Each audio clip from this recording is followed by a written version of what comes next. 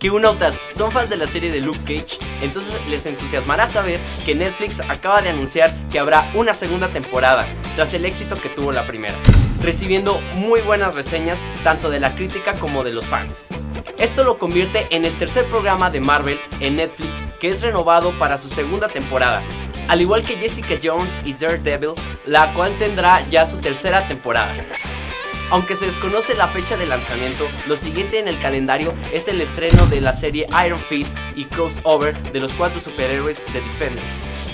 Sweet Christmas.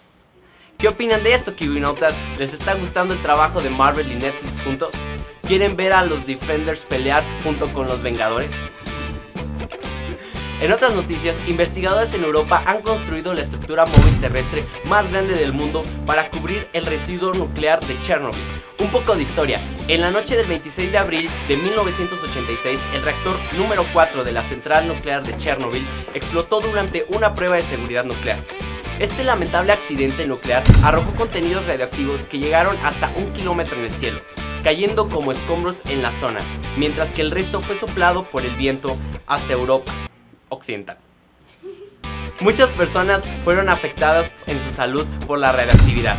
En noviembre de 1986 se construyó un refugio de concreto de 50 metros de altura para prevenir una fuga de radiación, pero en 1993 se anunció que la esperanza de vida era solo de 7 años más. Con la presión internacional, el gobierno ucraniano ha decidido construir un domo móvil más grande del mundo para cubrir el residuo nuclear de Chernobyl. Esta megaestructura fue diseñada para prevenir la fuga de radiación que protegerá al planeta de los residuos nucleares de Chernobyl por el próximo siglo. ¿Qué piensan de esto, Kiwinautas? Pues ya se tardaron, ¿no? Ya pues. Sí, ya valió. Esto fue todo por hoy. No olviden suscribirse en nuestras redes sociales. Yo soy Gerardo y nos vemos en la próxima.